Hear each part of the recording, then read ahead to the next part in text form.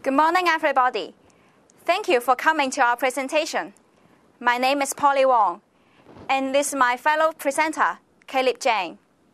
And we both study in the Department of Logistics and Maritime Studies. I hope you find this topic informative and interesting. The topic of our presentation this morning is how to plan and deliver an effective oral presentation. As we know, oral presentation plays an important role of our study at university. In many of the modules that we take, our tutor often asks us to carry out research and then write up a paper or report on a particular aspect of the topic.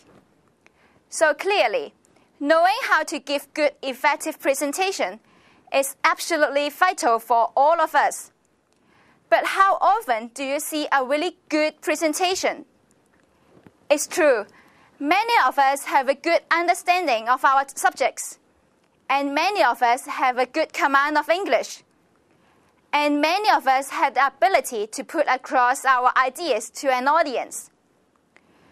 But by no means all of us have the ability to put all these ingredients together and deliver really effective top class presentations. Why is this? Well, the simple fact is that oral presentations are hard to do, hard to plan, hard to organize, hard to deliver. Not only have we got to master the subject matter, which can often be very complex, but we've also got to communicate our ideas in a second language, while at the same time worrying about our visual aids, timing, body language, and of course our grim, face the tutor. Now, although many of these problems will never entirely disappear, with carefully preparation, planning, and practice, you'll be able to develop the strategy you need in order to deliver good, effective oral presentations, both here at the PolyU and in your future career. And this is the main theme of our presentation this morning. How to give an effective oral presentation.